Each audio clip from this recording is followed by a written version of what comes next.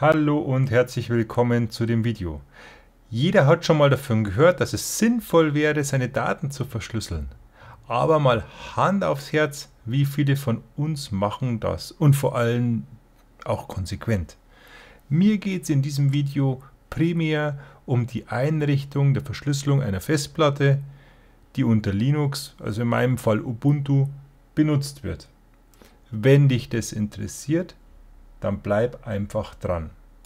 Fokus liegt bei mir jetzt initial mal auf einer Datenpartition und daher habe ich mir jetzt eine Festplatte gegönnt. Das ist die Western Digital 6 Terabyte Platte von der äh, Reihe WD-Red Plus, um meine kompletten Daten nochmal zu backuppen. Und für das ist sie einfach dann da. Ich habe eine Platte, wo ich nur die wichtigsten Informationen, die relevanten Daten dann entsprechend sichere und selbst ein, ein Backup sollte in meinen Augen auch verschlüsselt sein. Also, ich habe die Festplatte jetzt in einem meiner Linux-Systeme verbaut und das System angestartet. Mit dem Befehl lsblk kann man prüfen, ob die Festplatte erkannt worden ist. Ja, und hier können wir sehen, dass zwei Festplatten erkannt worden sind, SDA und SDB. SDA ist meine primäre Festplatte mit 100, was hat sie denn, 120 Gig und es ist eine SSD und hier die DevSDB, das ist die neue Festplatte, die hier mit 5,5 Terabyte an Größe angegeben ist. Bevor wir nun mit der Verschlüsselungsaktion beginnen, prüfen wir nochmal mit Smart Control, ob auch die Platte soweit in Ordnung ist und keine gravierenden Probleme, ja, keine offensichtlichen Probleme hier zu sehen sind und der Overall-Test steht auf Passed und aus der Ausgabe des Schnelltests ergibt sich auch sonst kein Anhaltspunkt, dass die Festplatte in irgendeiner Weise beschädigt sein sollte. Insofern können wir mit der Verschlüsselungsaktion beginnen. Mit fdisk-l prüfen wir nochmal, ob da auch wirklich die Platte dann leer ist und siehe da, ja, es ist keine Partitionstabelle vorhanden und sie ist auch komplett leer. Kurzer Disclaimer. Wenn ihr an der Partitionstabelle arbeitet, da empfiehlt es sich immer ein funktionierendes Backup zu haben. Weil wenn ihr euch die Partitionstabelle von der falschen Festplatte zerschießt, dann äh, habt ihr unter Umständen einen Datenverlust. Deshalb bitte genau arbeiten, immer spezifisch auf euer Setup abgestimmt, auf eure Umgebung, was ihr gerade vorliegen habt. Ein funktionierendes Backup zu haben, das schadet in keinem Fall. Dann seid ihr definitiv auf der sicheren Seite, falls was schief laufen sollte. Hier benutze ich das Programm Parted und zuallererst erzeuge ich eine Partitionstabelle. Das ist das Allerwichtigste, weil sonst kann keine Partition angelegt werden und diese Verschlüsselungsmethode basiert eben auf Partitionsverschlüsselung. Also erstelle ich jetzt eine Partitionstabelle mit dem Befehl make label und dann eine Beschreibung. Die heißt bei mir GPT. Abkürzung steht für GNU Parted und mit print können wir sehen, dass für die Festplatte DevSDB jetzt auch die Partitionstabelle geschrieben wurde. Jetzt geht es darum, die neue Partition anzulegen. Bei mir ist es jetzt so, ich möchte die gesamte Festplatte nutzen. Ich möchte eine Partition erstellen, nämlich eine primäre Partition. Und diese wird mit dem Befehl makePart erstellt. Und ich gebe an, 0% bis 99% der Festplattenkapazität soll genutzt werden. Ich gebe bewusst nicht 100% an, weil ich möchte, dass auf der Festplatte ein paar ja, Sektoren frei bleiben. Mit dem Befehl print können wir nochmal verifizieren, ob die Partition angelegt wurde. Ja, sie wurde angelegt. Dann haben wir nochmal die Möglichkeit mit fdisk äh, die Partitionstabelle zu überprüfen, ob sie auch wirklich geschrieben ist.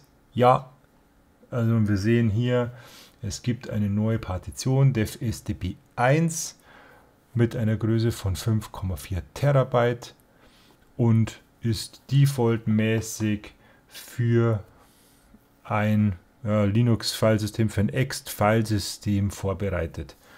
So, jetzt könnten wir hergehen, einfach mal ein Ext-Filesystem ähm, ja, drauf zu klatschen und dann äh, zu mounten und loszulegen. Das funktioniert. Wir wollen jetzt allerdings die Verschlüsselung aktivieren. Wenn ihr ein, Ubuntu Linux äh, zum Beispiel installiert habt, dann wird defaultmäßig das Programm Crypt Setup installiert und kann direkt genutzt werden. Für die Verschlüsselung der Partition nutzen wir folgendes Kommando Crypt Setup Lux Format zum Formatieren der Platte. Ganz am Schluss gehen wir dann auch nochmal an, was, welche Partition wir verschlüsseln wollen. Hier dev SDB1 in meinem Fall und geben noch ein paar zusätzliche Parameter an.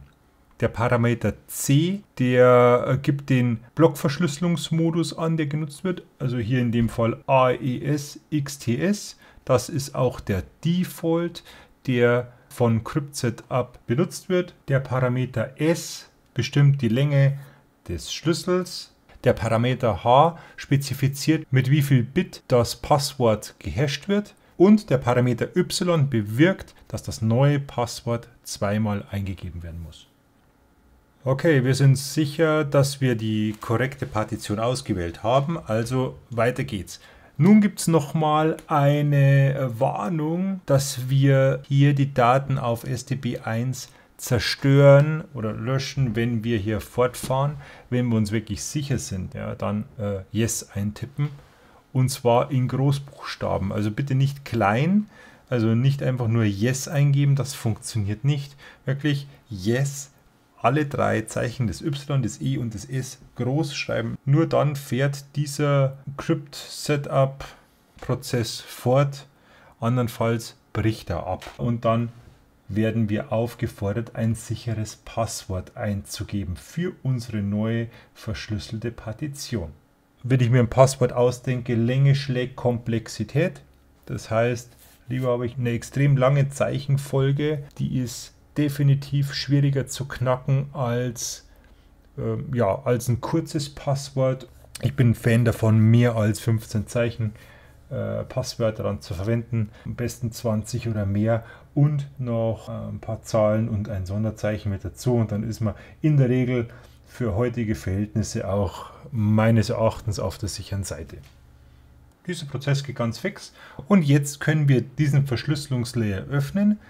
Und das können wir bewerkstelligen mit CryptSetup Lux Open unter Angabe von, dem, von der Partition, die wir verschlüsselt hatten, also defstb1. Und dann müssen wir einen beliebigen Namen hier eingeben, über den die entschlüsselte Partition dann erreichbar ist. Und ich nenne ihn Encrypted Backup, weil es sich bei mir um ja, eine Backup-Partition handelt.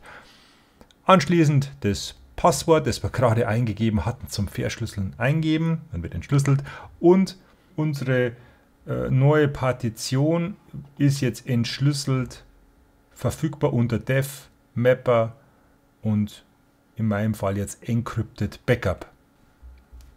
Okay, jetzt müssen wir der Partition noch ein Dateisystem verpassen. In meinem Fall ein Extended 4-File-System und das erzeugen wir mit sudo make filesystem.ext4 unter Angabe der Partition, die jetzt entschlüsselt vorliegt, also dev mapper encrypted backup. Das geht auch dann ziemlich zügig.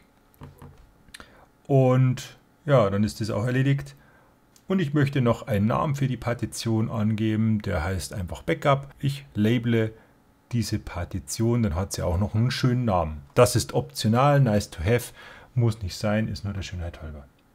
Und jetzt sind wir mit den Vorbereitungen fertig und können unsere entschlüsselte Partition mounten. Hier mounte ich sie unter slash mnt und mit df überprüfe ich, ob die Partition hier gemountet ist. Ja, sie ist gemountet unter mnt und dann kann ich sie beschreiben. Jetzt erzeuge ich einfach mal ein Verzeichnis und ein paar Dateien und äh, in dem neuen Filesystem und dann äh, genau schaue ich, ob die Verschlüsselung funktioniert.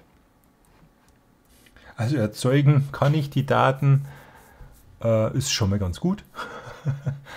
und äh, von daher heißt die Dateien werden angelegt. Jetzt, ähm, ja, jetzt mache ich einen Unmount von dem Filesystem, weil ich es nicht mehr brauche. Mit df überprüfe ich, dass das Filesystem unmounted ist. Also ist nicht mehr aktiv nutzbar. Und jetzt verschlüssele ich den Datenträger wieder mit Crypt Setup looks close und dem Namen, den ich vorher vergeben hatte. Das war bei mir Encrypted Backup. Wenn ihr nicht mehr wisst, der steht unter slash dev slash mapper. Da findet ihr ihn wieder. Und wenn ich jetzt einfach mal versuche, die Partition direkt zu mounten, ohne dass ich die Verschlüsselung aktiviere, dann bekomme ich hier einen Fehler, in dem mich das Mount-Kommando darauf hinweist, dass die Partition verschlüsselt ist und ich sie nicht einfach mal öffnen kann. Wie komme ich an meine Daten? Indem dass ich zuerst die Datenpartition entschlüssele und das funktioniert mit Crypt Setup looks open.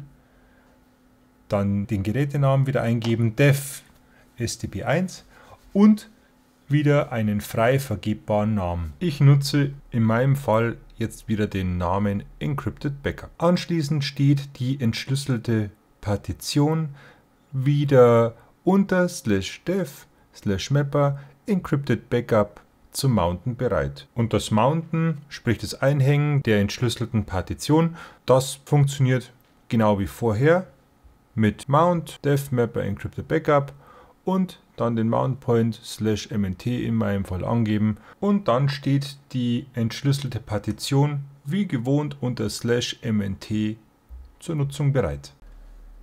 Ja, das war es auch schon wieder mit dem Video. Ähm, so eine CPU, eine Verschlüssel der Einsatz einer Verschlüsselung kann sich durch hm, der Einsatz einer Dateisystemverschlüsselung kann sich durchaus auf die Performance des Gesamtsystems niederschlagen. Das ähm, muss jetzt jeder se selbst für sich beurteilen, inwieweit er Verschlüsselung einsetzt. Da muss man einen, einen gesunden Mittelweg finden in meinen Augen. Es kann auch sein, wenn eine entsprechende Hardware im Einsatz ist, dass man hier nahezu keinerlei Performance Impacts bemerkt. Das ist jedoch jetzt hier ein Weg, um eine entsprechende Dateiverschlüsselung unter Linux zu realisieren. Hier auch Headless, kann auch auf einem Serversystem, so wie es bei mir jetzt ist, ohne grafische Oberfläche umgesetzt werden. Falls dir das Video gefallen hat und weitergeholfen hat, vor allen Dingen, dann würde ich mich freuen, wenn du mir einen Daumen hoch da lässt. Wenn es weitere Fragen gibt, lass mir gerne einen Kommentar da. Ich beantworte ihn gern und ansonsten freue ich mich aufs nächste Video mit dir. Mach's gut.